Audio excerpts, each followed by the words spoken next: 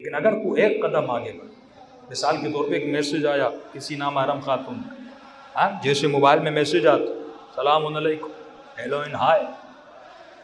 अब सवाल यह है, अगर रिप्लाई करूँ या न करूँ, ये पहला वसवसा है। यह आपको जो करता है कि मासूम फरमाते, गुनाह दलदल दलदल का मतलब ये है, जैसे तू हिलेगा ना, ये और खींचेगी। फिर थोड़ा हिलेगा, ये और खींचेगी। गुना बिल्कुल ऐसे, एक मैसेज आया, हेलो इन हाय का मैसेज। अब आपने कहा, देख लूँ, सलाम किया है, जवाब देने में क्या है? अब यहाँ शैतान का वसवसा शुरू अरे जवाब देना वाजिब है। सलाम आया है तो जवाब देना वाजिब है। हजूरी सलाम का जवाब वाजिब है, टेक्स्ट का जवाब वाजिब नहीं, और जिसका पता भी ना हो कि सलाम करने वाला कौन है, उसकी नीयत क्या है। अब आपने जवाब दिया वह अलैकुम सलाम। आगे फ़ौरन रिप्लाई आया। आपका बहुत शुक्रिया, आपने हमारा जवाब दिया। हम चाहते हैं कि आपसे दोस्ती की जाए। फिर आपने कहा कि आप कौन? फिर किसी खातून का नाम आया। अब यहाँ पे वसवसे और बढ़ने लगे। शैतान ने और आपके जहन में वसवसों को बढ़ाना शुरू कर दिया। जवानी भी है, जज्बात भी है कुआ शहवत भी इसके वजूद में है। ये कुआ खुदा देता ही इसलिए है कि देखूँ तो इसको इस्तेमाल कैसे करता वालिद अगर बाप को गाड़ी दे, लेकिन ड्राइविंग न सिखाए, दुनिया क्या कहेगी? ये दुश्मन है बेटे का, ये दोस्त नहीं है, क्योंकि ये गाड़ी को भी तोड़ेगा।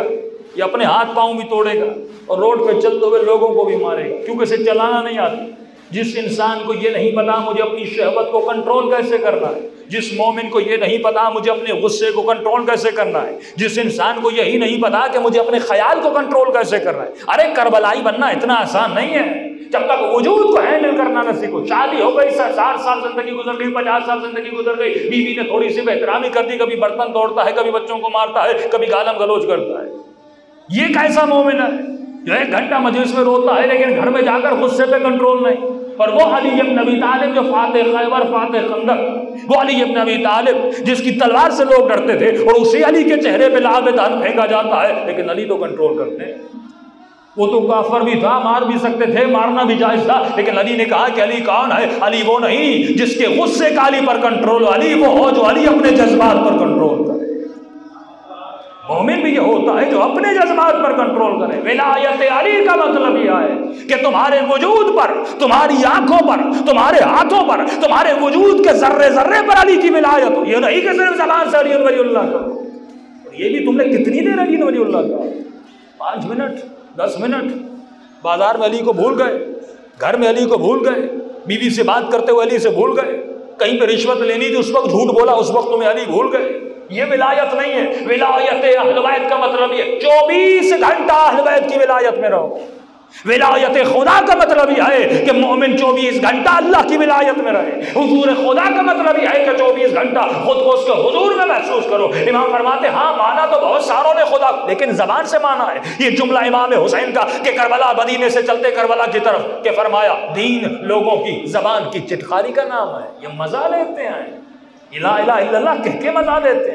ये दो वक्त की नमाज़ पढ़ के मज़ा लेते हैं। लेकिन उसने नमाज़ में सीखा कि अरे वो नमाज़ जिसमें अल्लाह अकबर कहने के बाद खाना हराम है, पीना हराम है राइट एंड लेफ़्ट गर्दन को मोड़ना हराम है। मौला, खाना हलाल था, पानी हलाल है, रोटी हलाल है, कलाम करना हलाल है। लेकिन आपने नमाज़ में दो मिनट के लिए इसको हराम क्यों किया? अल्लाह बताना चाहता है कई मोमिन, दो मिनट के लिए ऐसे खड़ा हो जा जैसे मैं कहूँ।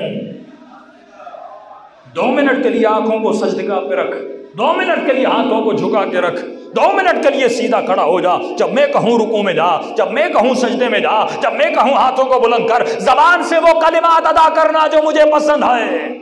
अपनी मर्ज़ी से कलाम न करना अगर अपनी मर्ज़ी से मेरा नाम भी लेते हो तो नमाज़ मुँह पे मार दूँगा। जो हमद मैंने कही, वो हम पढ़ना। जिस तरतीब से मैंने कहा, उस तरतीब से पढ़ना। इसका मतलब इतात इलाही का मतलब यह है कि बंदा ज़िंदगी ऐसे गुजारे, जैसे परवरदिगार आलम ने कहा। तमन्ना का मतलब यह है कि तमन्ना वो कर, जो तुम्हारे परवरदिगार आलम ने कहा। तो फरमा, शैतान को उसी वक्त मौत दे, उसकी वसवसे को मौत दे।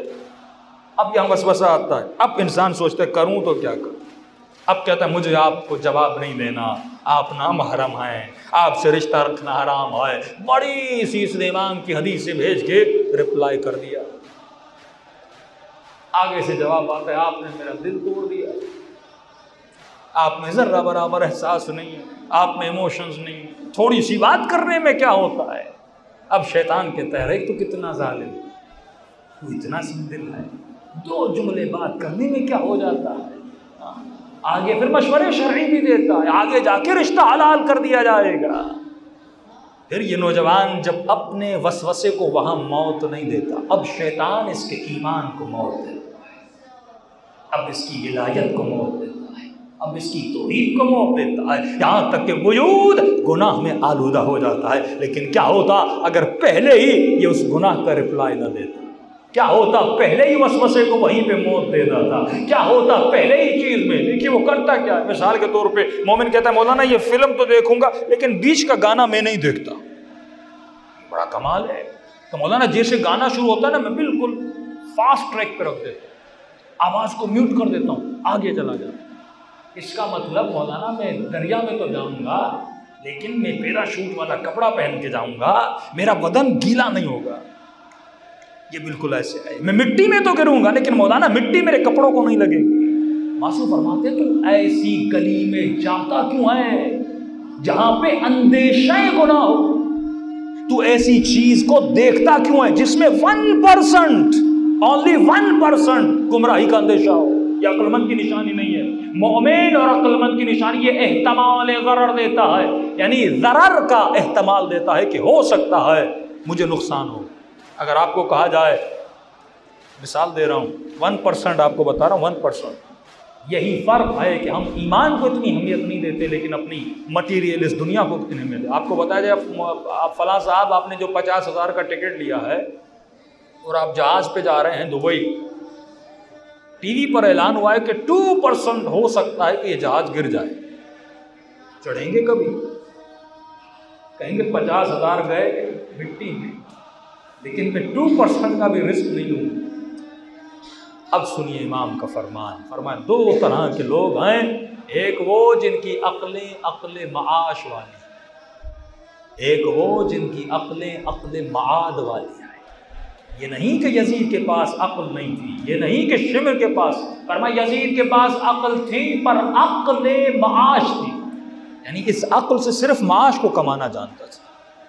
यानी इनका ये था कि दुनिया बचे, माल कैसे बनाएँ बिज़नेस कैसे करें, ये इंशाल्लाह इस कुरान की आयत पे कल आऊँगा कि भाई ज़रा वो तिजारत वन, आए मेरे हबीब जब ये तिजारत को देखते हैं और बिज़नेस को देखते हैं, तू खड़ा हुआ है, लेकिन ये तुझे छोड़ के चले जाते वो तरकू का कायम है, जबकि तू कायम है। कायम का मतलब कायम आल मोहम्मद, इमाम जमाना का लकब है। वो आल मोहम्मद का फर्जन जो कायम खड़ा हुआ है। और आज का मोमिन जब बिज़नेस और तिजारत को देखता है तो अपने इमाम को छोड़ के चला क्यों? क्योंकि इसकी अकल अपने माश है और फरमा निज़ाम कुफर, ये मगरब की हुकूमतें, अमरीका की हुकूमत, वो निज़ाम बड़ी खूबसूरती से खड़ा है। उनकी सिविलाइजेशन बड़ी खूबसूरती से खड़ी है, लेकिन किस चीज़ पर खड़ी है? माश पर। आप यूट्यूब पर लिखिए, हमेशा how to become billionaire millionaire मुझे बिलियनर कैसे बनना है? मुझे मिलियनर कैसे बनना वहाँ पर अगर लोग अखलाकमंद हैं, उसकी वजह भी माश है। यानी अगर कोई सिग्नल को मोमिन कराची में तो तोड़ेगा, लेकिन यूके में और ऑस्ट्रेलिया में नहीं तोड़ेगा। मैंने कहा, क्यों नहीं तोड़ देता मौलाना फाइन लगता है फिफ्टी डॉलर देने पड़ते हैं। इसका मतलब इसमें अदब नहीं है, इसके दिल में फिफ्टी डॉलर की मोहब्बत है। ये फिफ्टी डॉलर की वजह से सिग्नल नहीं तोड़ता। अच्छा ये क्यों नहीं करते? कचरा क्यों नहीं फेंकते? फला क्यों नहीं करते? मौलाना फाइन लगता है। हमें इतना जुर्माना लगता है, हम इसलिए नहीं करते। तो क्योंकि वो मुआशरा माश पे खड़ा है वहाँ पे लोगों को बादब बनाया मुआश की वजह से। यानी ये करोगे तो पैसे मिलेंगे और ये करोगे तो पैसे ले लिए जाएँगे।